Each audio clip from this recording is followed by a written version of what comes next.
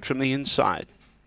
Ready now oh, away. Pretoria Sun missed it. New excuse began well. On the outside was Zoometrical. Pretoria Sun got on their heels when going for the inside. Three lengths from the leader. And the leader is Zoometrical. Pretoria Sun's racing out after it, but not making ground quick enough. Cooper Brown's making ground. Then behind those was Blewett Mini. Mary Nicer lands out the back. In front of it was another Jack, but in front, Zoometrical. Zoometrical's too good.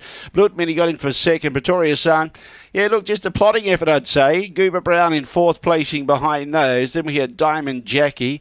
Uh, another Jack was near the tail end of the field. New excuse ended up at the tail and pulling up back there with it was Mary Nyasaland. The uh, time 23.19. It's 3, 6, 1 and 7.